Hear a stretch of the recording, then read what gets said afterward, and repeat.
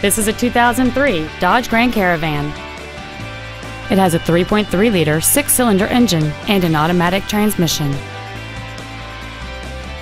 Its top features include a rear window defroster, 12 volt power outlets, a full size spare tire, privacy glass, an anti lock braking system, dual airbags, and cruise control.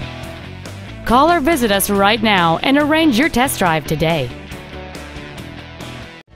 Arlington Heights Ford is located at 801 West Dundee Road in Arlington Heights, Illinois, only five minutes north of the Woodfield Mall, number one in what matters most.